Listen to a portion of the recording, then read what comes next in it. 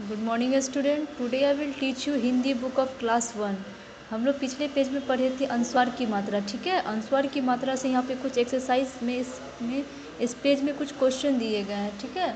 तो आपको उसको कंप्लीट करना है। फ़र्स्ट क्वेश्चन है, मौखिक में पढ़ो। जंगल, डंक, बंधन, रंग, नंदन, संत, खंजर, ढंग, मंजन और जंग। आप इस पूरे शब्द को पढ़ेंगे और अपने हिंदी के नोटबुक में लिखेंगे, ठीक है? नेक्स्ट क्वेश्चन लिखित में है, वर्णों को मिलाकर शब्द बनाओ। प जोड़ अनुस्वार की मात्रा जोड़ ख तो पंख हो गया। ब जोड़ अनुस्वार की मात्रा जोड़ द जोड़ र तो बंदर हो जाएगा। इसी तरह से शंख हो जाएगा, लंगूर हो जाएगा, मंदिर हो जाएगा, ठीक है? इसको आप कंप्लीट कीजिएगा। नेक्स्ट क्वेश्चन है, बिंदुओं को थर्ड क्वेश्चन में बिंदुओं को मिलाकर चित्र पूरा करो और रंग भरो।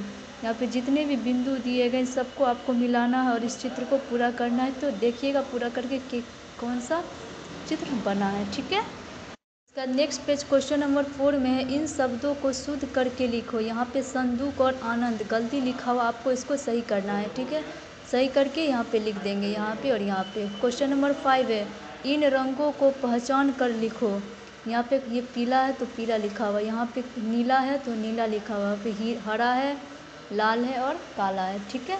नेक्स्ट क्वेश्चन है सिक्स में, पतंगों में अपनी पसंद का रंग भरो। यहाँ पे तीन पतंग दिए गए हैं। इस तीनों पतंग में आपको जो कलर अच्छा लगता है, उस कलर को आप फिल करेंगे, भरेंगे, ठीक है? क्वेश्चन नंबर सेवन है, अनुस्वार की मात्रा। लगाकर शब्दों को पूरा करें। रग, शक्कर, मजू, मंदिर और झटा लिखा हुआ। इसमें आपको अनुस्वार की मात्रा लगाना है। तो रग है तो रंग हो गया, संकर सकर है तो संकर हो जाएगा, तालब सौ पे अनुस्वार की मात्रा। मजू है तो मंजू हो जाएगा, मौ पे मंदिर मदिर है तो मंदिर हो जाएगा, मौ पे।